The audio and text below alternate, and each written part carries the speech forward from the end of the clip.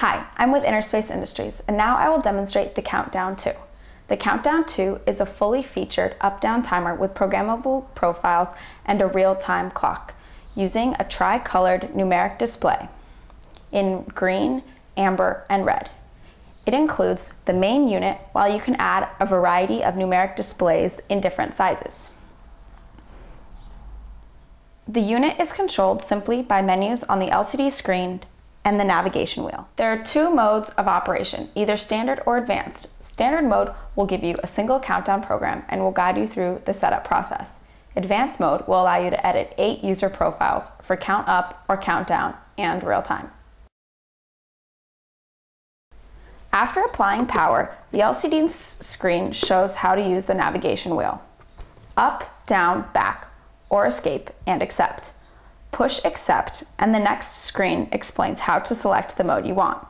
Push accept again to move to the next screen.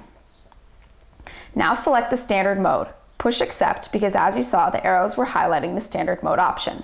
Now the screen displays the total time.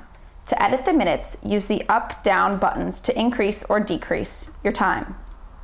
Now push accept when you have chosen your minutes. Now you can edit the seconds with the up down buttons. Now push accept.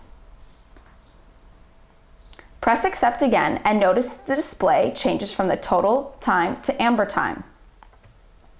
Now enter the time you want the timer to change from green to amber. Again, use the up down buttons and the accept button to go from minutes to seconds.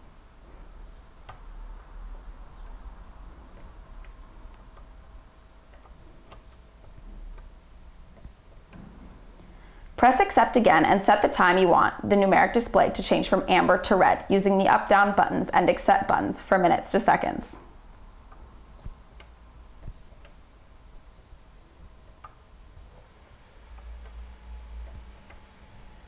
The display now gives you information on how to control the next screen. Up, down to select, accept to start, back to go to the beginning to set total time again. Now push any button.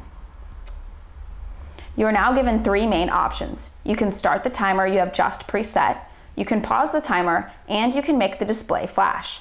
If we select start, the timer will start counting down, as you can see on the display. If you press back, you can create a new timer while the previous one is running without affecting it.